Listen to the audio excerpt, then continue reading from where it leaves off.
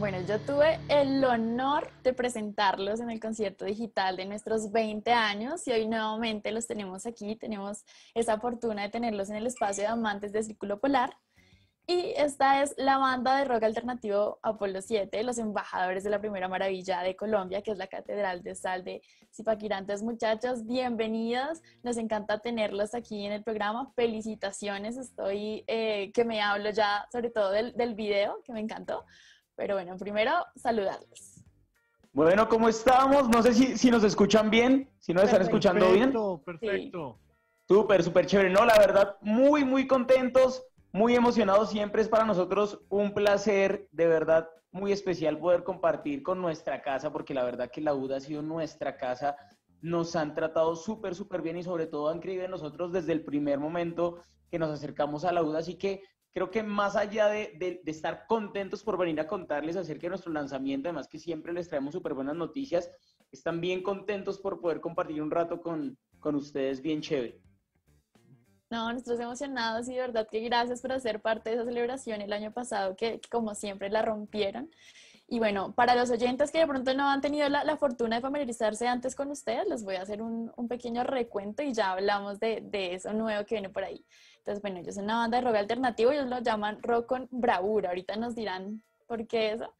Y bueno, tienen sus inicios desde 2010, eh, 2006, perdón, y está conformada por unos primos míos. no mentiras. Ellos sí, son vaqueros también. Sí, sí, esa es la rosca.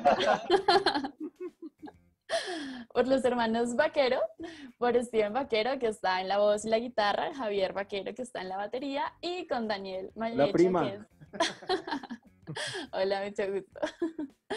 y Daniel, que está en el bajo y en los coros. Entonces, hoy están aquí en el espacio acompañándonos, haciendo una eh, agradable tarde.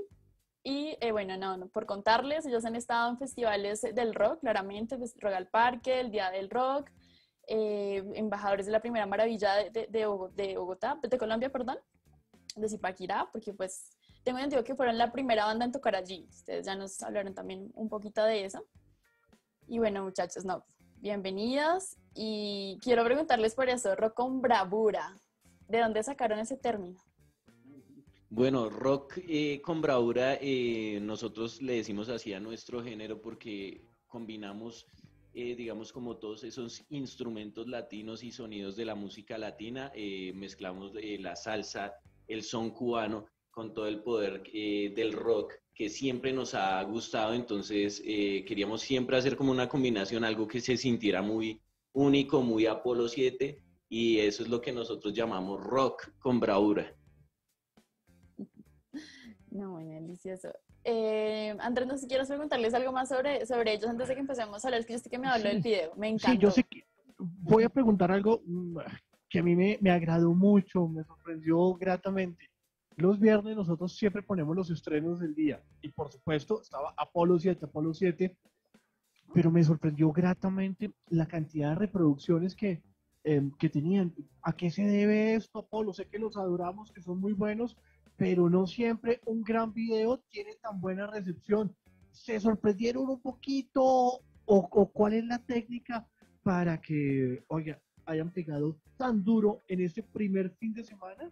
Por si no lo han visto, vayan a YouTube, Apolo 7, ahí está, eres esa historia y van a quedar sorprendidos con la cantidad de reproducciones que, que, que tuvieron. Cuéntenos un poquito, ¿se sorprendieron o no? Eh, sí, no, la verdad fue una sorpresa muy grata para nosotros, eh, a pesar de que nos gusta trabajar mucho en nuestros lanzamientos. Creo que somos la banda de rock más ñoña del planeta. Nos gusta hacer nuestra campaña de expectativa, campaña de lanzamiento, campaña de sostenimiento. Nos aliamos con las plataformas, con las personas que nos pueden apoyar y pues hicimos todo lo posible para que, para que fuera un éxito. En, en, ese video, por ejemplo, trabajamos con amigos que, que conocemos de la infancia, realizadores audiovisuales que, que, decidieron apoyarnos, que creen en el proyecto. Y pues hicimos un, un, un video con, con, mucho cariño, con mucho amor. Eh, estábamos un poquito nerviosos porque nunca habíamos hecho una canción de amor. Somos más como de, de desamor, de despecho. Quizá tenemos temas sociales y ese, y y ese cuento pero nunca habíamos hecho una historia de amor bonito, un amor, un amor para pa dedicar. Entonces dijimos, bueno, vamos a ver qué opina la gente y, y sí nos sorprendió, la respuesta fue muy buena, gustó bastante, en cuanto al mensaje, en cuanto a la música, la letra. Y pues en medio de estos tiempos, en medio de tanto caos que sabemos que lo único que nos puede salvar es el amor, le entregamos a la gente un, un cortometraje de tres minutos y medio en el que se demuestra que no importa los obstáculos que nos ponga la vida, el amor siempre es el que nos va a salvar y el amor siempre es el que nos va, nos va a motivar. Entonces, dimos con un buen video, un buen mensaje, una buena canción y, y sí, las, reproducciones orgánicas eh, fueron muy buenas, están siendo muy buenas, se está moviendo bastante, la gente lo está compartiendo. Entonces, es, es un video para que dedique, mejor dicho, el que quiera levantar, dedique ese video y va a la fija. Lo mismo pensé cuando, cuando lo vi. Muchachos, ¿por qué se demoraron tanto en escribir sobre el amor? ¿Qué pasó ahí? Bueno, no sé, yo, yo creo que... Solo sufrimos de desamor. Sí. Puras tusas en esta banda. Pues yo creo que depende también cosas que tú estés viviendo, o también depende del, del contexto social en el que tú estás para, para querer decir algo, ¿no?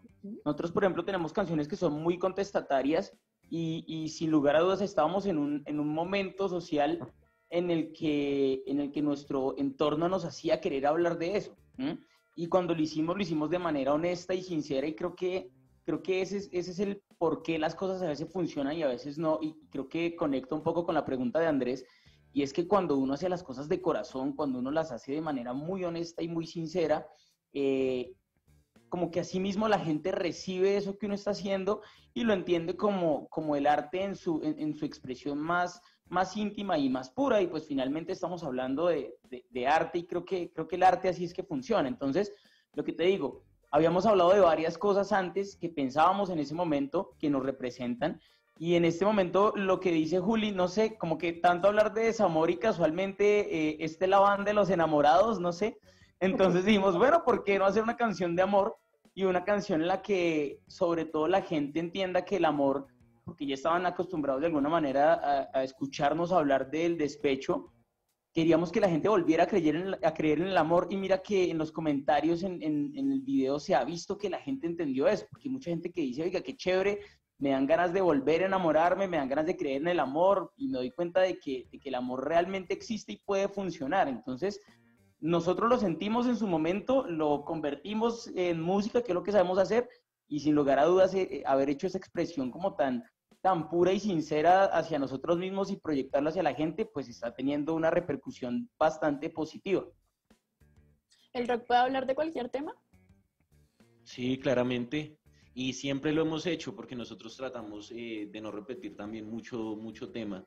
Eh, tenemos canciones que hablan en contra del maltrato animal, tenemos canciones que hablan del desamor, tenemos canciones que hablan de la raza latina, tenemos canciones que hablan de sentirnos orgullosos de ser colombianos. Eh, ahorita estamos haciendo una eh, que, bueno, ya les contaremos que el, eh, la grabamos también con Marty Friedman, pero todavía no la hemos lanzado, que habla acerca de los miedos.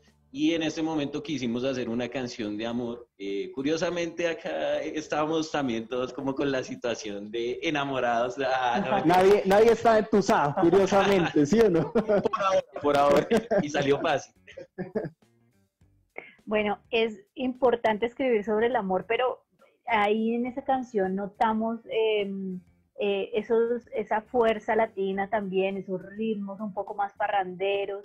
Eh, y sí me gustaría preguntarles cómo saber que un ritmo así bien parrandero, una salsa, eh, o, bueno, o, sí, digamos que un ritmo bien parrandero le pega a un, a un rockcito.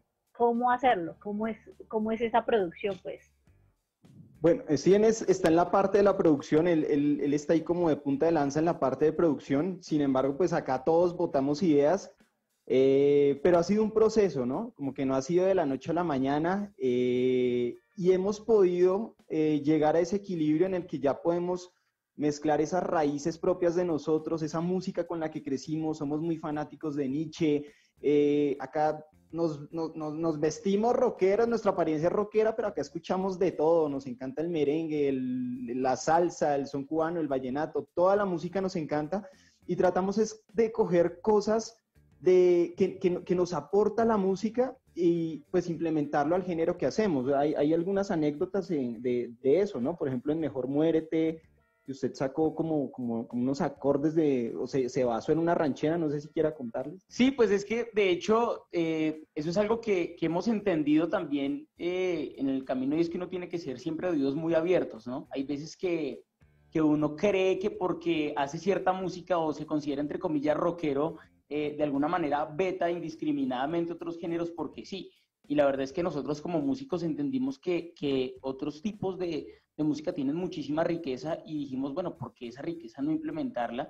El ejemplo que da ahorita mi hermano de Mejor Muérete es una balada que tenemos que salió inspirada en una ranchera, eh, musicalmente hablando. También, no sé, hemos tenido cosas curiosas como que hemos escuchado canciones de Ana Gabriel y hay progresiones armónicas en esas canciones que nos inspiraron a hacer nuestra música. Hay una canción de Cristian Castro, por ejemplo, que nos inspiró a hacer una de nuestras canciones que se llama Legado. Entonces creo que sí, resumiendo un poco, es que toda la música tiene algo bonito, toda la música tiene algo que la hace interesante y sobre todo toda la música se puede combinar de alguna manera y cuando tú encuentras ese punto de equilibrio es cuando llegas con un producto que de alguna manera llama la atención, porque si uno entiende la música como industria, también entiende que uno no es solo músico, sino también tiene que ser un producto. Es cuando tú tienes un producto que es una mezcla muy auténtica, muy original, de alguna manera puede terminar un poco en lo que dice Andrés, y es en la viralización, de alguna manera, en que la gente se interese y que, que de alguna manera llame la atención por lo mismo que es algo muy único. Entonces, pues estamos trabajando en eso, creemos que ya llegamos a ese sonido que nos identifica total, igual uno como músico nunca deja de descubrirse, nunca deja de descubrir su música, pero entendimos que, que, toda la música tiene algo bonito, lo podemos mezclar y a la gente le gusta eso, le gustan las cosas nuevas y llamativas. Pero, pero hay muchos riesgos, ¿no? Digamos, como oyente, me parece que son más bellas las canciones de desamor, le llegan a uno, uno las grita. Y yo me imagino que hay un esfuerzo más grande en hacer una canción de amor y que suene bien. Pues para eso se unieron ustedes tres y, les salió muy bien. Pero quisiera hablar un poquito de ese riesgo. No dijeron, oiga, eh, como que el desamor pega, pega mucho mejor. Y, y lo otro, que no sé cómo hacer la pregunta. Para los oyentes, recuerden que estamos en transmisión en Facebook, eh, también en Twitter y mm, cuando ustedes ven el video, hay un gesto que siempre hacen, así, que se han poblado, la cara así, eh, que, querían hacer eso, eh, el del ascensor, como la cara paulado, eh, lo mismo, es que no quiero contar, no, no, no, quiero destripar el video, pero ella también lo hace y es muy chévere. ¿Qué quiere decir ese gesto? Y, y un poquito, entonces, la pregunta, el gesto, que no sé cómo hacerlo, y, y, y, si no, no sintieron un poquito de riesgo de hacer una canción de amor cuando las de desamor suenan todavía más, más, potentes. Y quiero decirles, me salió muy chévere. Sí, muchas gracias. No, bueno, eres esa historia cuando eh, propusimos eh, el tema de amor. Obviamente, sobre todo en la parte de la letra, sufrimos un poquito. ¿Por qué? Porque cuando usted dice algo de amor, empieza, no, venga, no sea tan cursi, ¿no? Y uno empieza, ¿será que sí queda ese pedazo? Entonces, hay algo que hacemos eh, últimamente cuando metemos una frase que realmente dudamos un poco y es que mm, estamos, digamos, como votando la letra, eh, porque nosotros primeros eh, siempre se hace la parte musical y luego nosotros hacemos la letra de la canción. Entonces, ahora lo que hacemos es como, venga, si encante la full, para saber si sí queda o no queda ese pedazo. Y entonces ya cuando la canta y, cambia la vaina, uno dice como, oiga, sí, ya, ya, ya no suena como tan cursi, ya no suena como, como a que no lo puedo hacer, porque realmente hacer una canción de amor no es fácil. Em, y en cuanto a lo del video, el tema del tic y todo, queríamos como resaltar un personaje que tenía un problema o digamos como de ansiedad eh, y siempre trataba de ir a buscar a una chica que ya sabía exactamente la hora en donde la encontraba, siempre sabía dónde estaba, eh, pero siempre le pasaba algo que no dejaba eh, que él se acercara hacia ella. Entonces al final como que, digamos, desarrolla como todo el plan y ya logra hablarle sin saber que ella también estaba esperando que él le hablara. Entonces era como contar ese amor bonito eh, que es ese amor que llegó para estar en su vida, ese amor que, que a usted lo, lo, llena y que, eh, ¿cómo es que dicen que una persona nació para, para, ser, para estar siempre en su vida? De pronto, de pronto se quería mostrar que para un raro siempre va a haber otro raro. Entonces, si usted siente que nadie lo ama, si usted siente que nadie, nunca va a encontrar el amor, siempre, siempre haber alguien en alguna parte del planeta que es, esta es hecha especialmente para usted. Otro, otro dato curioso y es que, por ejemplo, él, se tropieza con un niño y, por eso no puede ir a hablar a, la chica y no es un niño como que estaba en la calle, sino que ese niño es, es el de pequeño, son esos miedos que no lo dejan llegar ni, o esos miedos que no le dan como el valor para que él pueda ir a hablarle a ella. Es, es un video bien interesante que tiene mucho simbolismo, entonces también lo hicimos para que la gente lo viera una y otra vez, entonces es, es bien bacancito. Un, un, amor sufrido también, porque pasó muchas, muchas penurias para llegar ahí, ¿no? Exactamente. Es que los oyentes tienen que ir a ver. Definitivamente lo que les digamos acá no se queda corto con lo que con lo que pasa allí en esa historia. Bueno, digamos que ustedes en la canción utilizan dos frases que dicen que también se inspiraron para hacer el video.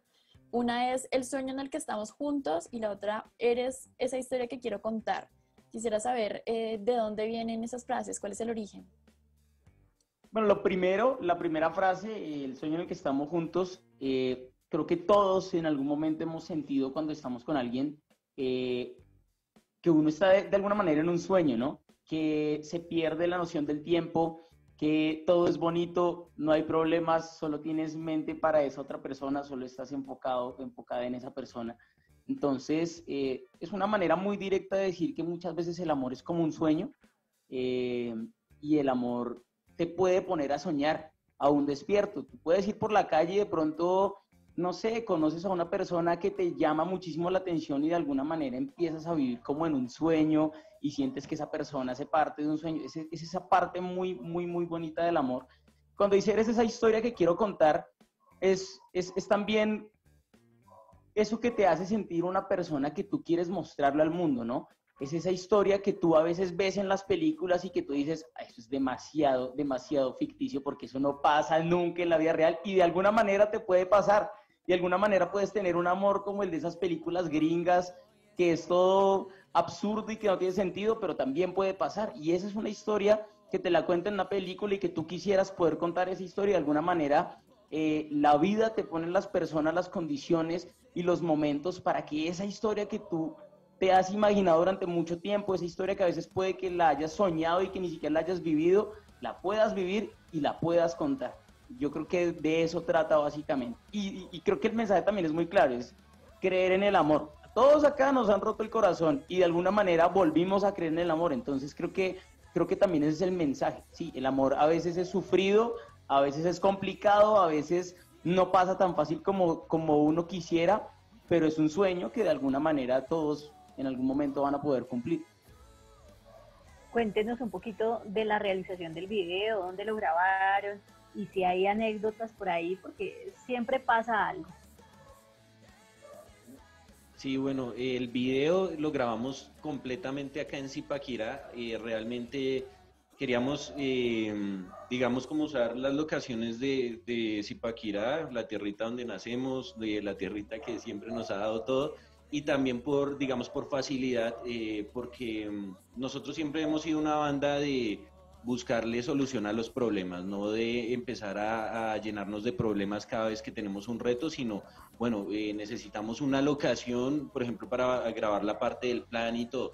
Entonces, eh, si uno se pusiera a irse por el lado de, digamos, como de la exigencia, uno diría, no, yo tendría que conseguir eh, un espacio súper oscuro de esta manera, así y realmente lo que hicimos nosotros fue usar espacios que nosotros mismos teníamos, pero adecuarlos a que se vieran como necesitábamos que se vieran.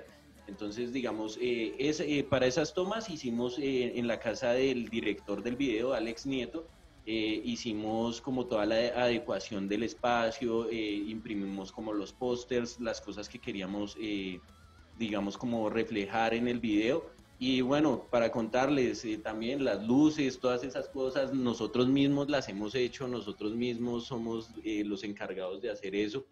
Em, las otras locaciones quedan em, cuando pasa, digamos, la esquina que él siempre busca eh, a la chica. Eso es en unos conjuntos acá cerca en Zipaquirá. Eh, aquí abajito. Aquí abajito, sí. Y la parte de la entrada al video, la que muestra como el sueño de él, es, eso se llama La Vereda del Tunal, también acá en Zipaquirá. Eh, pero digamos que, que quisimos hacer también mucho en el video. Si ustedes se dan cuenta en el video no se ve un solo tapabocas.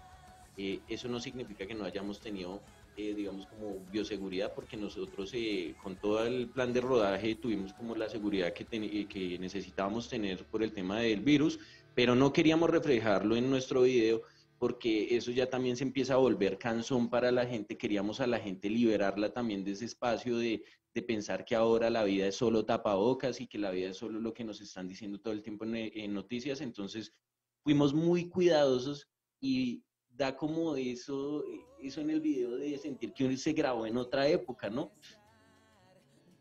Iba para allá. Eh, bueno, digamos, no solamente en la época de, de, de no estar con coronavirus, con COVID-19, sino que también siento como los colores, la forma en que colorizaron el, el, video y demás, me, me, gustó también mucho, o sea, es muy estético. Y quiero preguntar por esa, esa producción, no sino esa, sí, bueno, digamos, esa, esa edición que hicieron, que creo que está a cargo de Javier.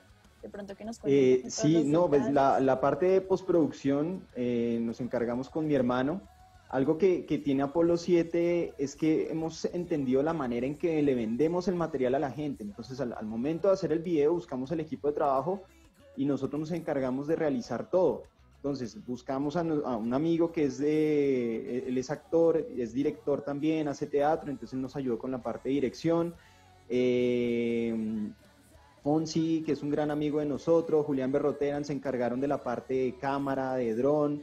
Eh, Lola Char, que es la, actriz que aparece, eh, Miguel, que es un, chico de, Miguel tiene que 8 años. años. Él sale actuando, actúa súper, súper bien. Eh, y todo lo tratamos, o sea, todo lo hemos hecho así. Cuando llega la parte de postproducción, pues es un producto que ya teníamos en la cabeza, que nosotros mismos hicimos el guion, que nosotros mismos nos sentamos, planeamos la historia, pues ya en la cabeza más o menos sabemos cómo va a quedar eh, nos encargamos de hacer la parte de edición, la parte de postproducción, la parte de colorización. Steven es un, mago para, para, colorizar, tiene un ojo muy crítico en ese sentido. Entonces, siempre tratamos de que esas producciones de Apolo eh, se, se, vean así, sea un, cortometraje, una película de tres minutos, tres minutos y medio, pero que, que la gente se sienta como, como en, otro, en otro plano. Entonces, todos los videos los hacemos nosotros, los comerciales de la campaña de expectativa son buenísimos. Invito a la gente a que vaya a nuestro Instagram, que es Apolo7TV, o en, o en TikTok también estamos. Y hay varios comerciales, varios reels como de 30 segundos, donde tenemos unos comerciales de campaña de expectativa, de lanzamiento, muy al estilo de nosotros, con el humor que maneja Apolo 7. Son súper, súper buenos, así que los invito también a que lo vean. Bueno, la canción Eres esa historia de un nuevo Apolo 7. Creo que jueves en la noche, ya el viernes teníamos la nueva canción y después de este fin de semana nosotros la estamos disfrutando aquí en la alternativa de la radio. Eh, quiero irme al año anterior. Cada viernes eh, buscábamos canciones que tenían que ver con el sonido independiente eh, y hacíamos una selección de cuatro canciones. Pero me, me, me volví loco, algo que no pude entender fue verlos ustedes con Marty Friedman y ustedes nos dicen, va a venir algo con Marty Friedman. Suena como, ah, Marty Friedman, ah, listo, sigamos, chuguemos. No, no, un momento, ¿qué es esta locura? Uno, lo que hicieron y lo otro, lo que va a venir. Eh, Marty Friedman debe ser uno de los mejores guitarristas del planeta, del planeta. Ustedes le hicieron un regalo muy especial, grabaron una canción que eh, para el coronavirus fue muy especial porque nos llevó casi que a otro continente, nos llevó a, Europa con artistas de América y yo creo que Marty Friedman debe estar que en, Oriente, me parece que está radicado en Japón, pero yo creo que ustedes nos digan un poquito, un poquito de eso. Marty Friedman eh, es el que está eh, en, en el line-up más maravilloso que pueda tener la agrupación Megadeth y ni hablar de sus proyectos como solista. ¿Cómo fue llegar a convencerlo a cantar una canción de mocedades eh, y ahora una colaboración que toca un instrumento muy colombiano? Ay, yo sí quisiera saber qué pasó con Marty Friedman, cómo es esa relación tan bella que ustedes tienen, porque cuando escuché la canción yo no lo podía creer. Y hay video y él hablando, es una absoluta locura y los quiero felicitar por eso que Creo que es absolutamente grandioso. Muchas gracias, Andrés. Pues todo el tema con Marty Friedman, eh, creo que ha sido una gran bendición para nosotros.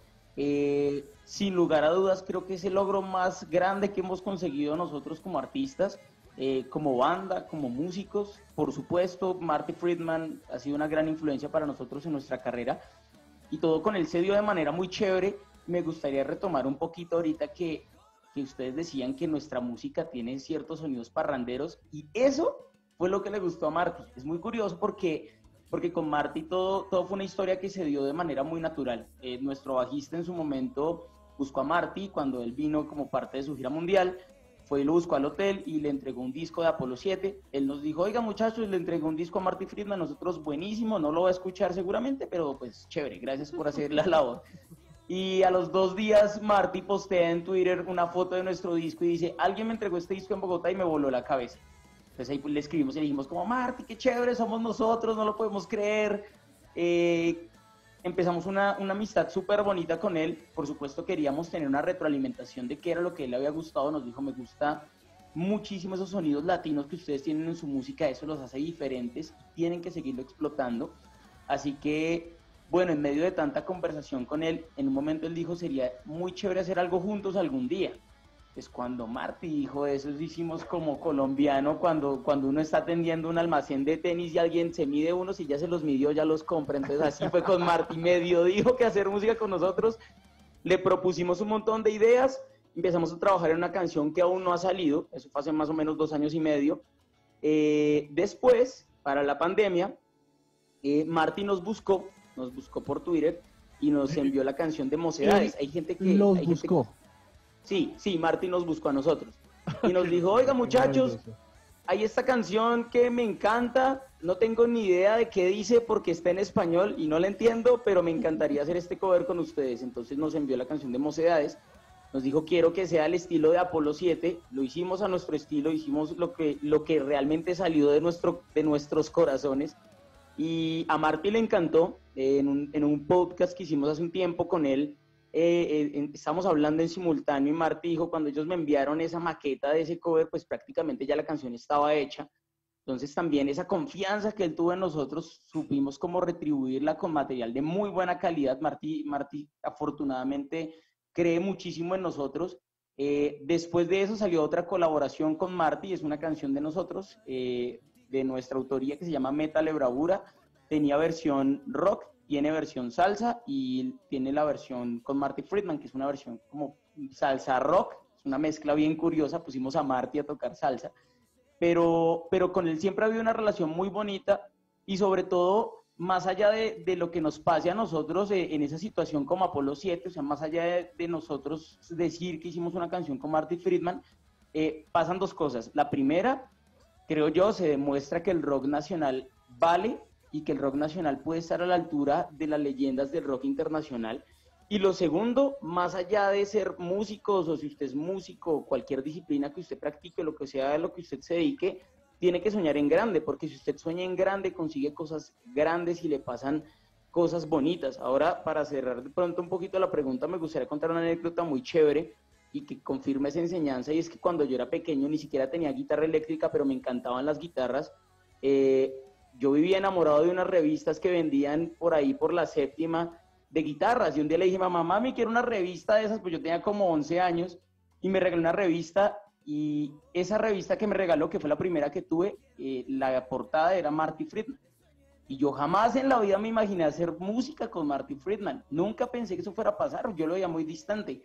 Pero creo que el trabajo que hemos hecho lo hemos sustentado y, gracias a eso hemos podido abrir grandes puertas no solo en festivales, sino también en personas que admiramos tanto como Marty y creo que hacer música con él definitivamente nos confirma a nosotros mismos que estamos escogiendo el camino no solo que nos hace felices, sino tal vez el camino para el que estamos destinados. Y lo pusimos a tocar tiple y a decir parcero, ¿no? Sí, claramente. le mandamos, le mandamos un tiple hasta Japón, de, salió más caro el envío que el bendito Ah, eso te tiple. iba a decir, ustedes fueron los que le mandaron el tiple.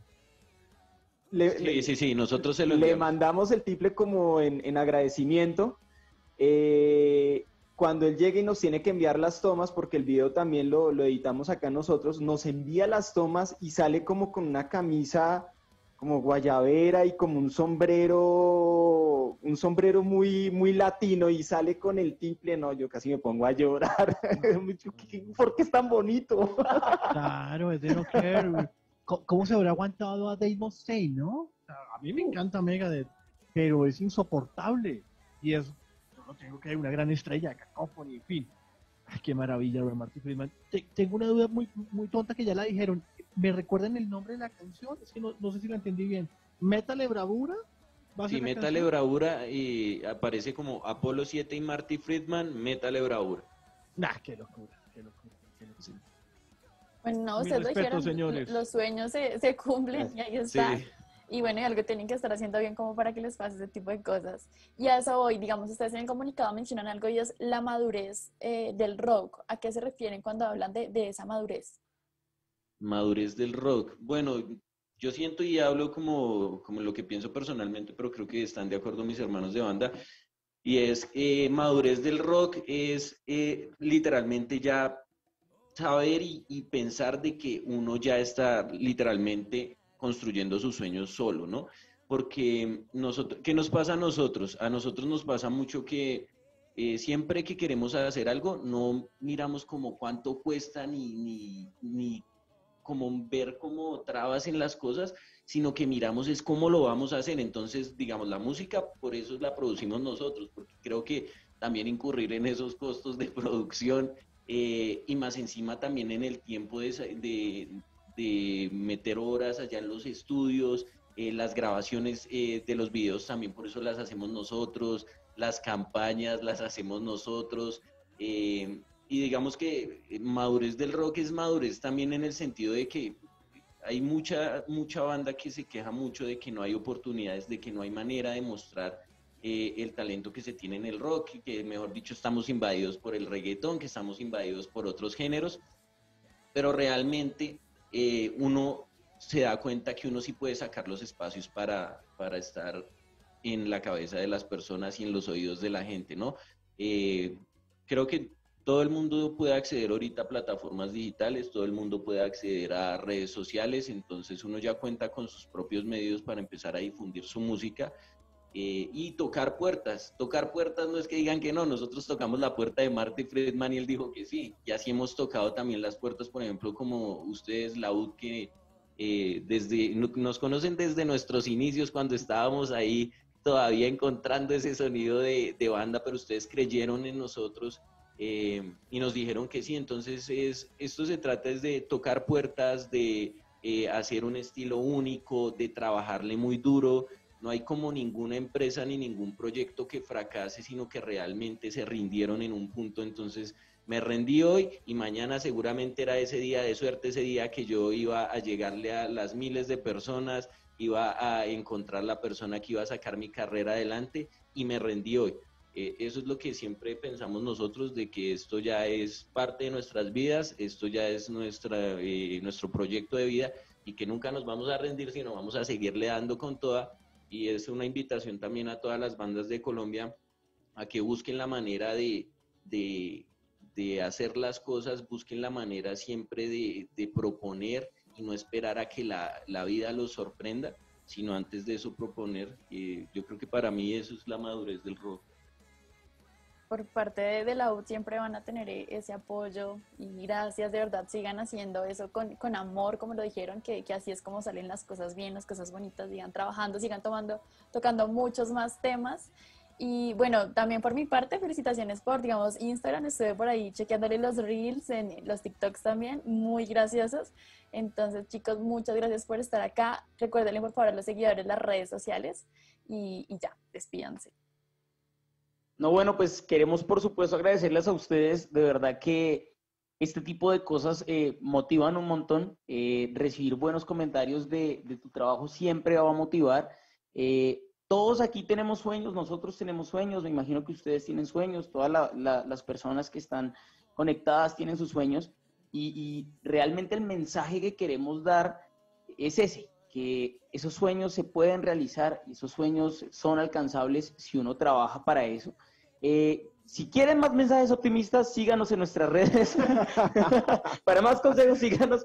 Estamos en Instagram como Apolo 7 TV, estamos en Facebook como Apolo 7 Oficial, estamos en YouTube como Apolo 7 TV, estamos en TikTok como Apolo 7 TV. Ese TikTok es algo nuevo para nosotros, ahí vamos como cogiéndole el tiro, como dicen. Sí, ahí, vamos, ahí vamos. Eh, pero la verdad que siempre vamos a, a, tener un mensaje bonito para entregarle a la gente, siempre vamos a tener súper buena vibra y sobre todo siempre vamos a entender que lo que nosotros hacemos y el mensaje que nosotros entregamos como banda tiene una repercusión. Y, yo creo que el hecho de, tener esa, esa, buena vibra y ese buen mensaje es algo inherente a nosotros, entonces siempre van a poder esperar cosas positivas de nosotros, entonces ya saben, tienen que seguirnos, escuchar nuestra música, nuestro más reciente lanzamiento, Eres esa historia, también que escuchen las canciones que hicimos junto a Marty Friedman, y nada, de verdad, muchas, muchas gracias a ustedes por, por este espacio y sobre todo por creer en nosotros y creer en nuestro talento, porque eso significa demasiado para nosotros. Así que bueno, muchas gracias.